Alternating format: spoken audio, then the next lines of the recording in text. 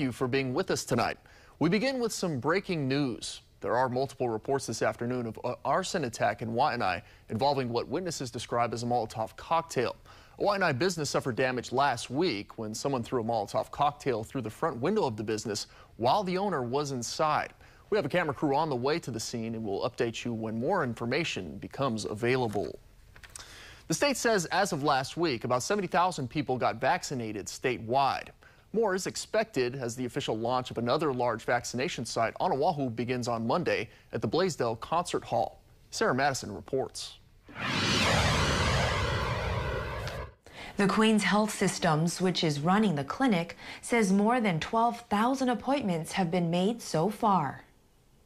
Kicking off another large vaccination site, this time at the Blaisdell Concert Hall, is like music to some people's ears. AARP Hawaii says they're excited the capacity to vaccinate senior citizens 75 and older will increase. But they tell us some folks have expressed concerns what we've been hearing is that people, uh, in some ways, don't know where to go yet. Uh, we do know that some kupuna are having a hard time getting through. And so I would just encourage family members to check in with their um, kupuna to see if they can help them get through. Appointments are needed and can be made online. If that's not possible, folks can also call the Queen's COVID 19 vaccination line.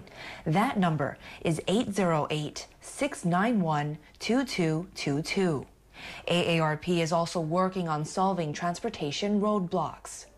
But the other thing we're trying to set up, Sarah, is working with the state to figure out how to get to homebound residents, people who perhaps aren't going to be able to easily get to a mass vaccination site. Uh, we're worried about those who are struggling with that. This center is going to help help to alleviate the, the backlog that we're seeing now. As Oahu begins to vaccinate more residents, House Speaker Saiki tells us the health department has been maximizing their requests every week for vaccine from the federal government. I know that in other states, um, um, max, mass vaccination centers are, are still being set up, um, but we have to do better. We have to, um, this, the, the government, state government has to do a better job in vaccinating more people.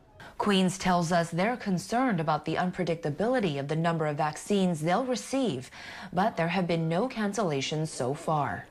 Queen says the Blaisdell Clinic will be open every day except Tuesdays. People should bring their ID and insurance card. Also, parking is free.